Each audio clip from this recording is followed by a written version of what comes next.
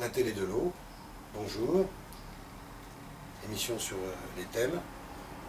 Le thème abordé aujourd'hui avec euh, Jotananda Satya, le thème de l'argent. Bonjour Jota. Bonjour. Donc, euh, pourrais-tu nous parler de, de l'argent? Oui, c'est un thème riche, On l'espère. on l'espère, oui. Euh, L'argent, pour moi, c'est comme, euh, comme tous les autres thèmes aussi qu'on va peut-être aborder. C'est quelque chose de, matériel, mais c'est aussi une énergie. Quand j'aborde, peu importe le thème, je vais toujours revenir avec justement le, le sens, le sens de, le sens de l'argent, notre relation à l'argent, parce qu'on parle, on va parler de relation tout le temps, et, et de sens. Ça, c'est la spiritualité, pour rapprocher tout ce qui, qui est dans notre vie, donc euh, l'argent aussi. donc, pour moi, l'argent, c'est une énergie qui est, devenue matérielle et qui sert à quelque chose. Donc, on- je, me, suis questionnée, moi, sur euh, c'est quoi l'argent? Qu'est-ce que, quelle est ma relation à l'argent? Quel sens je donne à l'argent? Fait que ça, c'est justement de mettre de la conscience dans tout ce qui est le chemin spirituel. D'être conscient de qu'est-ce que représente l'argent pour moi. Qu'est-ce que j'en fais? Comment je vis ça? Mon rapport? Est-ce que l'argent, je trouve ça malsain? Est-ce que je trouve ça? Est-ce que je veux en avoir? Pas en avoir? Est-ce que je me sens coupable? Donc, vraiment ma relation à l'argent. Et j'ai une très bonne relation à l'argent. Parce que ce que la spiritualité m'a apporté, c'est justement de faire la paix avec tout ce qui existe. Dont l'argent. La sexualité aussi, ça j'en, ai beaucoup parlé. La sexualité, c'est une énergie, l'argent, c'en est une. Alors, c'est de, de se regarder. Je me suis observée dans qu'est-ce que j'ai vécu avec l'argent? Euh, alors, pour moi, c'est une. on appelle ça une monnaie d'échange. Donc, c'est, un, c'est un outil d'échange. Et qui, et qui peut nous définir. On se donne la valeur. Comme être humain, on se donne la valeur. On peut s'en donner par le travail qu'on fait, par, par nos possessions, dont l'argent est probablement la principale. Euh, fait que c'est un outil de valorisation, ça peut être un outil de, de plaisir, un outil de possession.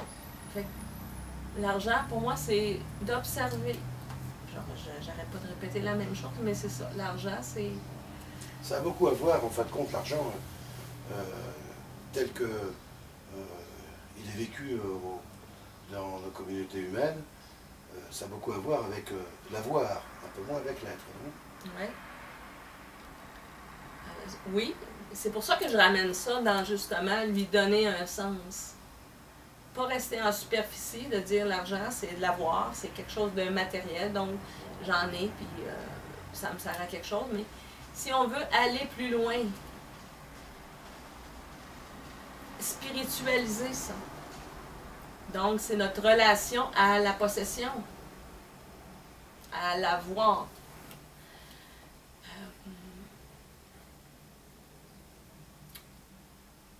je vais parler de mon rapport à l'argent, justement. Mais comment j'ai comment j'ai observé mon rapport à l'argent, comment j'en ai fait quelque chose de. Comment j'ai intégré l'argent dans, ma vie, dans ma vie spirituelle maintenant, puisque j'ai plus un regard spirituel sur les choses, sur l'argent? Euh, moi, l'argent, au début, j'en ai, euh, je l'ai dit dans la, une vidéo précédente, j'ai été très près de, gens qui avaient de l'argent, qui, qui avaient du pouvoir. Le pouvoir de l'argent, et donc beaucoup de possession. Et euh, l'argent ne nous. euh,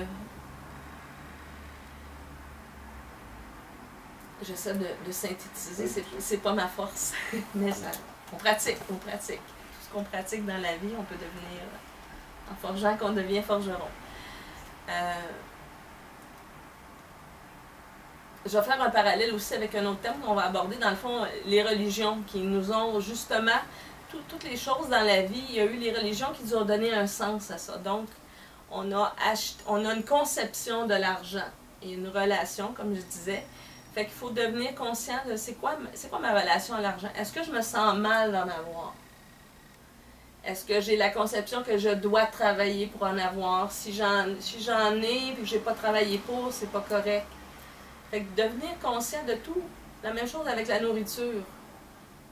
Devenir conscient, observer ma relation avec l'argent. Comment je me sens? Aller dans le senti, de ce que ça me fait vivre. Sortir de juste l'avoir, de mettre de la lumière sur un petit peu plus loin. Est-ce que moi, je choisis justement de, de consacrer ma vie? Je, veux de l'argent, je me dis, OK, j'ai besoin d'argent pour pouvoir vivre certaines choses. Ça, c'est une, une conception que j'ai achetée. C'est un discours qui, qui me dit, euh, il faut travailler pour avoir de l'argent. Moi, je crois plus ça. Moi, je crois plus qu'on est obligé de travailler pour avoir de l'argent. Euh, c'est obligé d'être forçant. Je crois pas ça non plus. Alors, c'est, j'ai, j'ai toujours été à l'aise avec l'argent. Je me suis, j'ai pas les, je me suis débarrassée des, des, des préjugés, des, euh, des conditionnements. Fait que pour moi, pour moi, l'argent c'est un outil. Une question que je vais te poser. Est-ce que quelque part dans ta vie, l'argent t'a fait cruellement défaut parfois T'as ressentir ce besoin que de cet argent qui n'était pas là Euh, ça m'a pas fait cruellement défaut, ça me faisait pas mal. Euh, avoir de l'argent, c'est se sentir riche. Si on en a, on se sent riche. Si on n'en a pas, on se sent pauvre et on se sent sans moyens et sans pouvoir. Moi, je n'ai plus ce rapport-là avec l'argent. C'est pas l'argent qui me donne du pouvoir dans la vie. Alors, je suis détachée de l'argent. Dans, la spiritualité, on se détache et on renonce à plusieurs choses. Et renoncer, pour moi, ça veut dire ne plus s'en préoccuper. Ça veut dire ne pas être obsédé, mais ne pas non plus dire j'en veux pas. Je n'ai pas cette obsession-là par rapport à l'argent. Alors, je ne consacre pas toute mes énergies à avoir de l'argent. Euh, j'ai pas de, je ne résiste pas non plus au fait d'en avoir. J'ai pas, j'ai pas de difficulté, j'en ai déjà eu beaucoup. Là, j'ai passé une période à en avoir moins et ça m'a justement permis de trouver ma valeur à moi plutôt que ma valeur monétaire. Tu n'es pas en conflit avec cette énergie. Je suis pas en conflit avec cette énergie-là. J'ai j'ai compris que c'est pas la quantité d'argent que j'ai qui me permet de vivre des choses, ni d'être. C'est pas le montant que j'ai dans mon compte en banque qui me donne une valeur comme personne. J'ai pensé ça longtemps. J'ai dépensé beaucoup d'argent parce que je ne me donnais pas de valeur à moi. Alors j'ai travaillé, je faisais de l'argent. Et ma façon de donner aux autres, c'était beaucoup par l'argent. Faire, faire des cadeaux, permettre aux, autres de vivre. De vivre. euh, par exemple, si justement, si j'avais de l'argent, ben, pour qu'on, si on se rencontrait, toi et moi, je, ben, j'aurais payé quelque chose, on va se payer un restaurant. Parce que le temps que je passe avec toi, je le valorisais pas. J'avais l'impression que c'était pas très agréable de passer du temps avec moi. Je me dis, il faut que je mette quelque chose de matériel. Donc, l'argent, ça me permettait de, nous faire vivre quelque chose de matériel. Alors, Je pensais que je, ne valorisais pas, moi, ce que je donne. Donc, et souvent, c'est comme ça quand on a de la difficulté à se faire payer pour le travail qu'on fait. Et, de plus en, et plus on donne des services, plus on donne de nous-mêmes dans le travail qu'on fait, plus ça nous, ça nous questionne sur justement la valeur qu'on se donne. Et justement, beaucoup de gens qui sont dans- des choses alternatives, qui ne sont pas payantes, euh, le massage, toutes les médecines alternatives, où les gens donnent beaucoup d'eux-mêmes, de leur énergie, de leur perception, de leur cœur, on a de la difficulté à valoriser ça. Parce qu'on ne se valorise pas, donc on peut, peut pas charger à quelqu'un. Moi, je, je- ça m'a pris du temps avant de, dans la consultation, pouvoir dire, ben là, si tu passes une heure avec moi, ça vaut tant.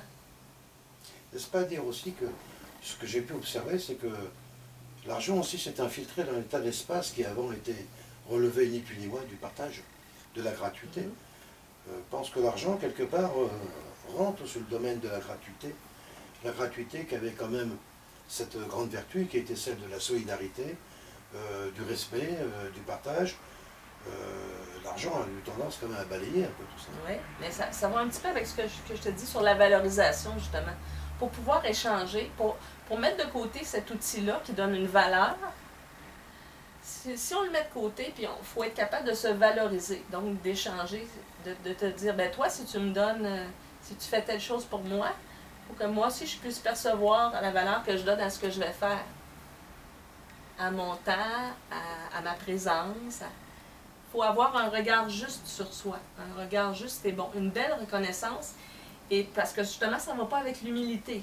Dans toutes les religions, ce qu'on nous a appris, euh, si on a trop d'argent, il faut, le dépenser, il faut donner. Alors, c'est tout, ça se passe en, en superficie. Alors, pour aller dans l'être,